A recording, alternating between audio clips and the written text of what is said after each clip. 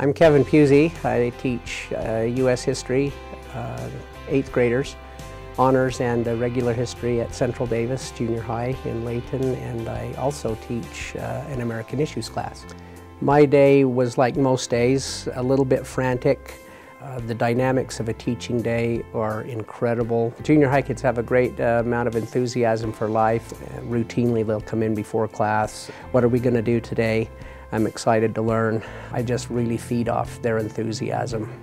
Uh, teaching's uh, a life's work. I went into it because I've always enjoyed working with youth. And when I got to college, the subjects that interested me most turned out to be history and English. It, uh, history makes me appreciate those who've gone before us in our country, uh, in our state, and even in our families. One of the great things in teaching is to be able to share that with the students, get them to feel some of the uh, sacrifices, uh, bravery and courage that have gone into shaping our country. And I try to inspire them to be better people uh, and show them that they have a legacy to continue.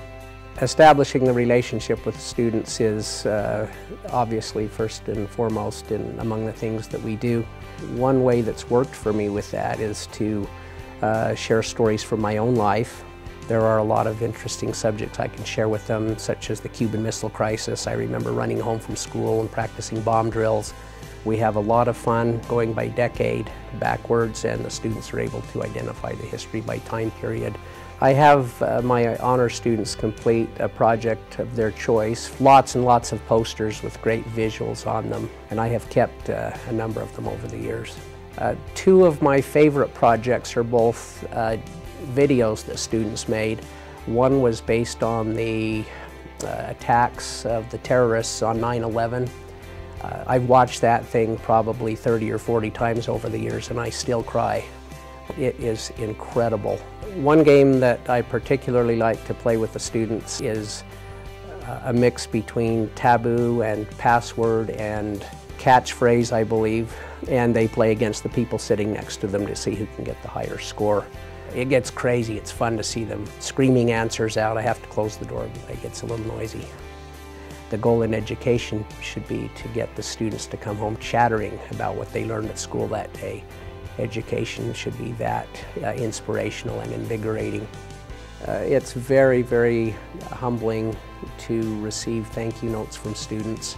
I just had one on uh, my board this morning. A student said, I don't know if you know how much uh, you mean to me. It made me smile and uh, uh, it's a remarkable generation of young people we have.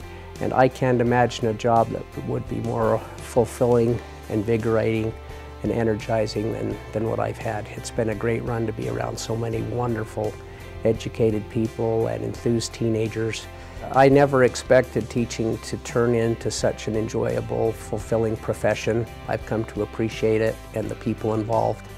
It's uh, helped me to understand the world better and uh, enabled me to make sense of it for the students so they can see the good and positive things that are still out there. Considering retirement, uh, I've got a lot of mixed emotions. I'm struggling with uh, the very idea of, of giving up something that's been so dear to me. I try to sit down each day and savor just being in the building because I know it's not going to last. And so uh, it's uh, time to move on and let somebody else have the great opportunity that I've had. I'm Kevin Puzey and I teach.